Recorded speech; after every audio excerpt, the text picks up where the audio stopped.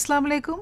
Creative writing course के इस session में हम बात करेंगे रीडिंग फॉर राइटिंग के ऊपर। जब आपने लिखना है क्रिएटिव राइटिंग करनी है, उसके बहुत सारे इनपुट्स आते हैं। उसमें आप ऑब्ज़र्व करते हैं रिसर्च करते हैं, आपके जहन में बहुत सी इन्फॉर्मेशन होती है। And then it takes some form and it takes the shape of the article और द स्टोरी और the novel that you're writing और the poem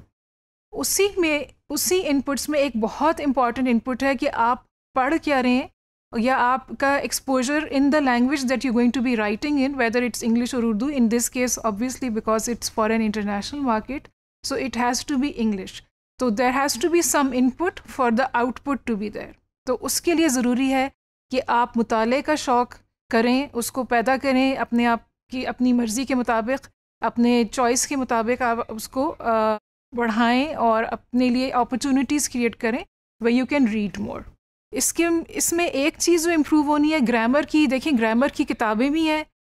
there can be videos और that we can teach you grammar but the actual thing is this is something that the best way to learn it is by reading we can point out some common errors here we can tell you कि ये कुछ चीज़ें हैं जो उर्दू बोलने वाले अक्सर English में गलतियाँ करते हैं, लेकिन उसमें पुख्तगी जो है आपकी ग्रामर की, जो असलाह ठीक होगी वो उसी वक्त होगी जब आपके पास लैंग्वेज का एक्सपोजर इतना होगा। सुनने की सूरत में भी, लेकिन क्योंकि सुनने वाली लैंग्वेज इतनी एक्यूरेट और करेक्ट नहीं होती, उसमें there is spoken idiom there are some errors also and the written word is more accurate and correct तो इसलिए ज़रूरी है कि आप पढ़ें अपनी ग्रामर को बेहतर करने के लिए ताकि आपकी your voice as a writer has authority and credibility so that's why reading is very important it's not something secondary it's not something कि वो दूसरे लोग करते हैं प्रोफेसर टाइप के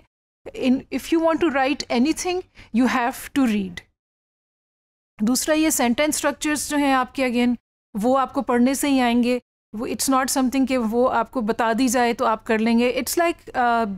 you can't look at an exercise video and expect to get fit until you exercise yourself तो इसी तरह लिखने के बारे में भी है कि जब तक आप लिखने की प्रैक्टिस और अपना मुताले की हैबिट साथ साथ लेके ख़ुद नहीं चलेंगे तो किसी के बताने से वो चीज़ उस तरह से नहीं हो सकती।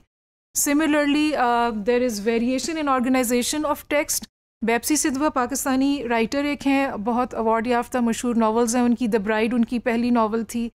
उसके अलावा उन्होंने बहुत सी किताबें लिखी हैं। उन्होंने ये कहा कि जो वो जब छोटी थी तो वो जिन राइटर की किताब में पढ़ती थी, ज़्यादा चार्ल्स टिकन्स की, उनकी पहली किताब की ऑर्गेनाइजेशन और चैप्टर्स की लेंथ वगैरह कुछ उसी तरह की निकली, जो वो पढ़ रही थी। इसका ये मतलब नहीं है कि आप कॉपी करें किसी और के स्टाइल को, लेकिन ये कि whatever you expose yourself to that will have an impact on what you're producing और वो जितनी आप अच्छी क्वालिटी की चीज़ पढ़ेंगे, उतना ही आपके काम की क्वालिटी भी बेहतर होगी।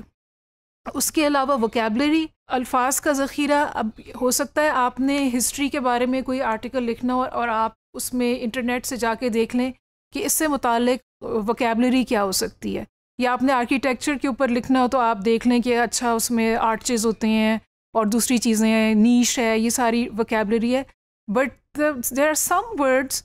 उनके,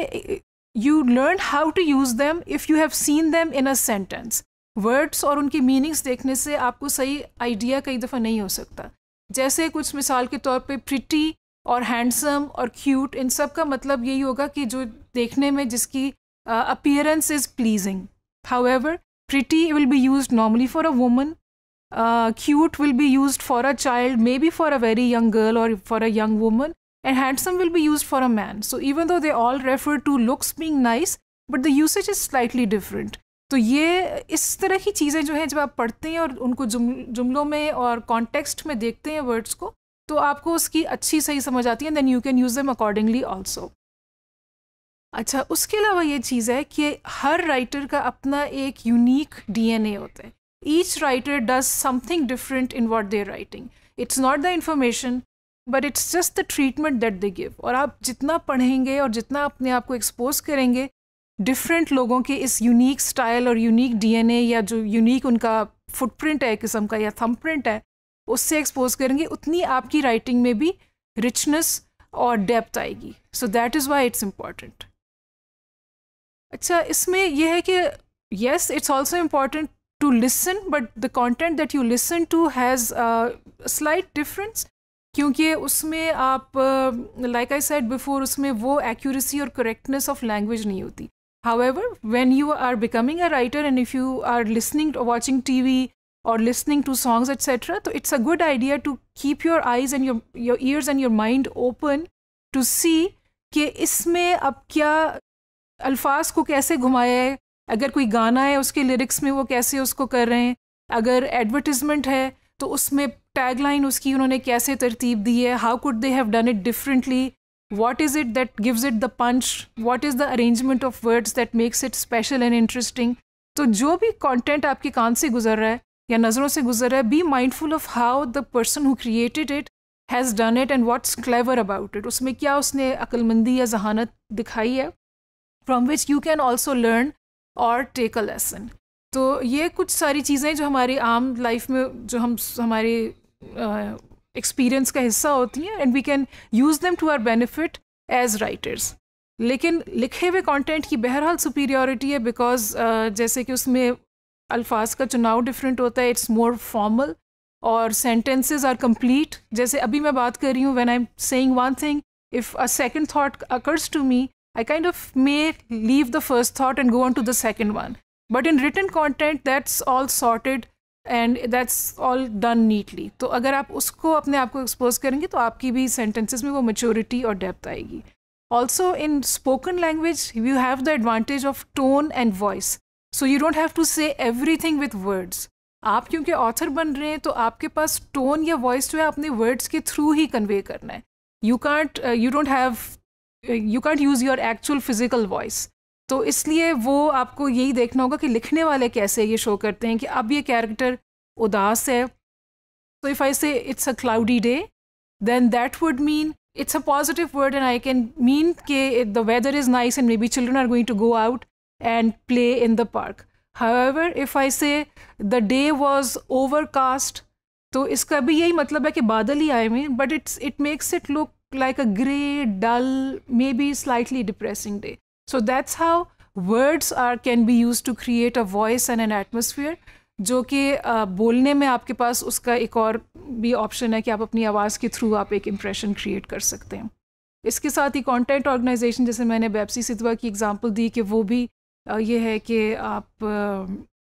जब पढ़ेंगे और देखेंगे कि दूसरे लोग कैसे कंटेंट ऑर्गेनाइज कर रहे हैं रीडर्स डाइजेस्ट कैसे कर रहा है हार्वर्ड बिज़नेस रिव्यू कैसे कर रहा है टाइम मैगजीन कैसे कर रहा है कोई एक्सप्रेस ट्रिब्यून का ब्लॉग कैसे कर? रहा है and then you can get ideas and you can say okay I like this one thing इस पब्लिकेशन की और इस दूसरी पब्लिकेशन की मुझे ये चीज़ पसंद है। And then you can add to it and create your own style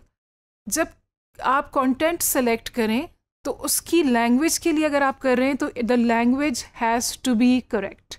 अक्सर जो हैं हमारे ब्लॉग राइटर्स कोई ब्लॉगर्स बहुत टॉप के हैं there have very popular blogs technology वगैरह के but the language is not correct so you can go to those blogs if you looking for information on technology लेकिन उसमें अगर आप पढ़ेंगे तो वो आपको लैंग्वेज में उस तरह से हेल्प नहीं मिलेगी.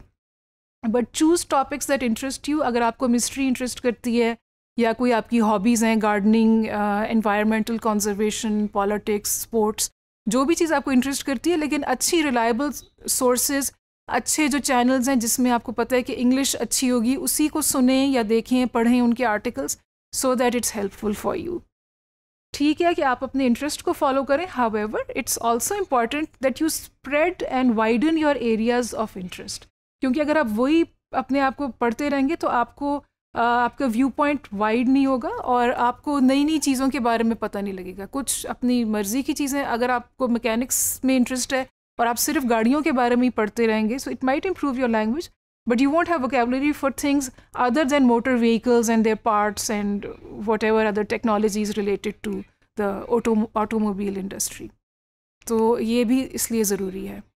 और आपको वैसे भी जब आपने प्लानिंग करनी और रिसर्च कुछ करने के लिए तो उसमें आपने पढ़ना तो है ही। So that is a part of your writing but other than that उससे पहले भी और बेशक कोई आपके पास असाइनमेंट है या नहीं है there should always be something that you reading कोई ना कोई आपकी बेड साइड पर किताब होनी चाहिए या आपके बैग में किताब होनी चाहिए so that while you're waiting और before you go to sleep और एट सम अदर पॉइंट आप पढ़ ज़रूर रहे हो। रीडिंग रिसोर्सेज बहुत सी हैं नॉवेल्स पढ़ें स्पेशल इंटरेस्ट मैगजीन्स हैं स्पोर्ट्स के कुकिंग के हेल्थ के एट्सट्रा करंट अफेयर्स के। ब्लॉग्स पढ़ें न्यूज़पेपर वालों के ब्लॉग्स हैं तो all these things are good sources अगर आपको पोइट्री इंटरेस्ट और मोटिवेट करती है पोइट्री में बिल्कुल लैंग्वेज डिफरेंटली यूज़ होती है. So read poetry also even if you not writing poetry but if it inspires you तो फिर आप ज़रूर पढ़ें. और उसके अलावा एक अच्छी खबर ये है उर्दू बोलने वालों के लिए कि uh, मैंने uh, कुछ when I have shown my work what I write to people from other cultures specially west में जैसे यूएस में they are very impressed by the idiom क्योंकि जो हम उर्दू बोलने वाले हैं और उर्दू में पढ़ा है जिन लोगों ने या उर्दू किताबें या लिटरेचर वगैरह पढ़ा हुआ है, हमारी ईडियम बहुत रिच है, हमारा मेटाफोर बहुत रिच है, क्योंकि ये हमारे जो, और जब हम इंग्लिश में भी लिखते हैं तो वो उसको जब उसमें ट्रांसलेट करते हैं तो that comes across is very beautiful and very deep and rich तो ये एक अच्छी बात है, अगर आपने उर्दू में भी काफ़ी पढ़ा हुआ है तो आपका वो मेटाफोर और रिचनेस लैंग्वेज की है। सिर्फ़ थोड़ी सी अपनी आपने ग्रामर और बाकी चीज़ें उसकी नोक पलक दुरुस्त करके अपनी राइटिंग को एक प्रोफेशनल इंटरनेशनल स्टैंडर्ड तक पहुंचाना है। And I am sure you can do it and we can all do it together thank you so much for listening